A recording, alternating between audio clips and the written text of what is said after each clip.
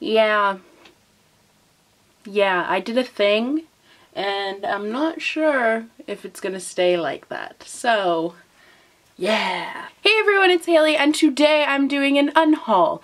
I haven't done one of these before, but I am doing one now yeah. So first, yes, I changed my bookshelves. I have had rainbow bookshelves for like a really, really long time now.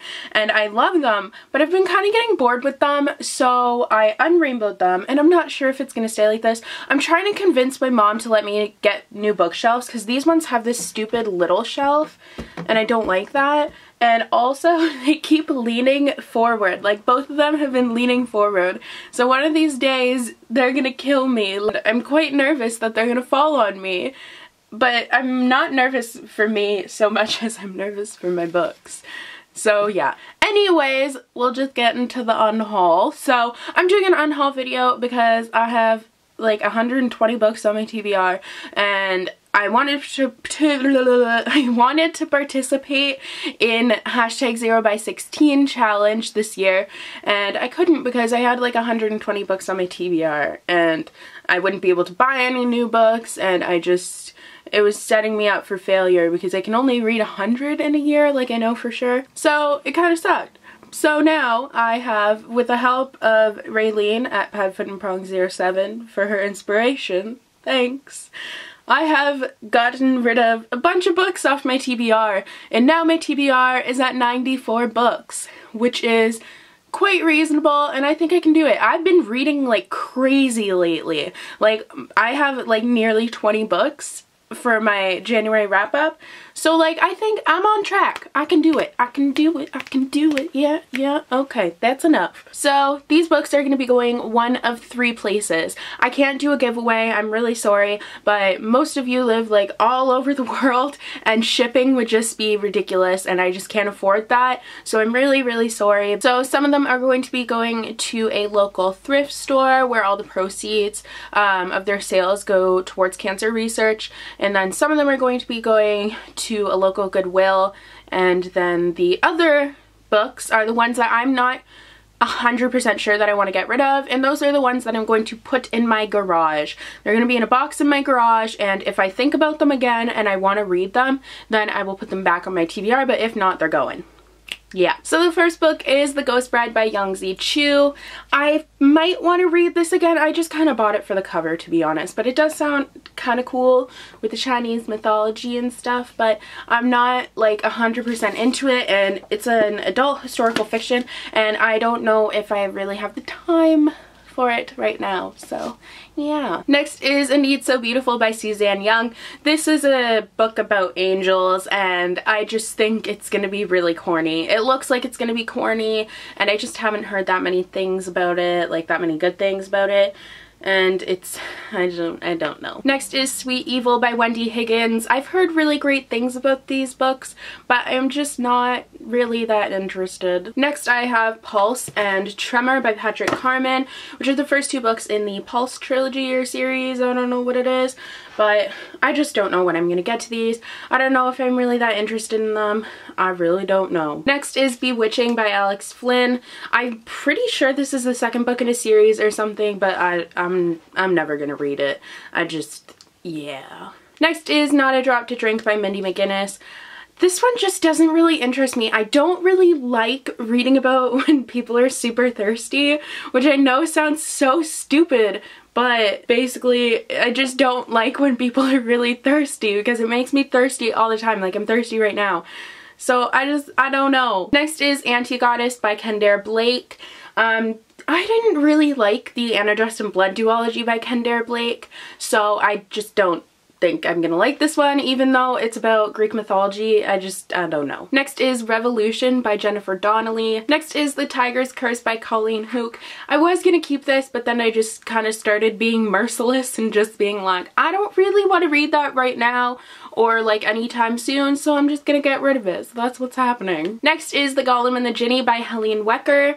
I'm not going to read this anytime soon. Milkweed by Jerry Spinelli. This one, um, my friend, uh, she had it and it seemed really interesting to me. It's about a Jewish boy who wants to be a Nazi. So like super interesting and I might end up reading it because it is really short, but yeah. Every Day by David Levithan. A lot of people have mixed feelings on this book. I'm just not really interested at all. I'm sorry. Immortal City by Scott Speer.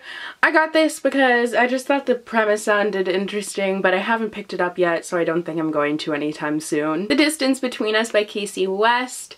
I've just heard bad things about this, so I don't want to waste my time. Of Poseidon by Anna Banks. I'm not sure if I'm into the whole mermaid thing. Red Glove by Holly Black. Um, this is the second book in the Curse Workers trilogy, and I don't want to have to buy the first one to read this one, because I don't really want to read it that badly. Hush Hush by Becca Fitzpatrick. I'm just, yeah, I'm not that into the angel thing, and I feel like a lot of these are angel books but I'm not that into it. I'm sorry. Slammed and Point of Retreat by Colleen Hoover. I read Slammed and I didn't really like it, so I'm just not to keep either of them. The Shock of the Fall by Nathan Filer. I have two copies of this. Revolver by Mar Marcus Sedgwick, which is super tiny, so like maybe, but probably not. I'm just not that interested. This next one may come as kind of a surprise to a lot of you, but that is the Delirium trilogy by Lauren Oliver. I have had Delirium forever now and I just haven't picked it up and I don't really see myself doing that anytime soon and I've heard that Requiem has a really unsatisfying ending so I don't see the point in getting invested with this whole trilogy if it's going to have a shitty ending so yeah. Perfect Lies by Kiersten White which is the second book in the Mind Games duology. Really I could read this and have another finished series because it's super tiny but I just don't want to. Side Effects May Vary by Julie Murphy I was so excited for this book when it first came out. I thought it sounded really cool and just very interesting, but I've just heard not that great things. I've just heard that the main character is a brat, and now my excitement has significantly died down to like two yeah. Next is Proxy by Alex London. I have heard really great things about this, but I'm just not sure if it is for me. Next I have Taken and Frozen, which are the first two books in the, um, what is it?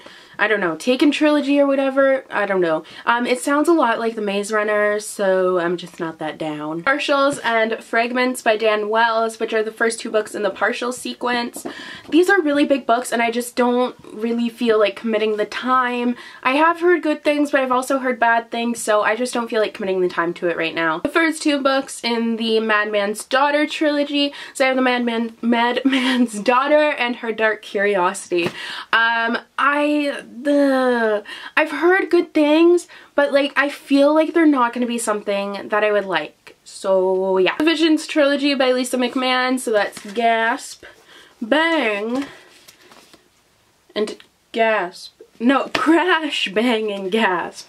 Whoopsies. So yeah, these I just, um, it was mostly a cover by. I haven't really heard that great things. A lot of people have told me not to waste my time with it, so I'm not going to. And the last book is Uninvited by Sophie Jordan.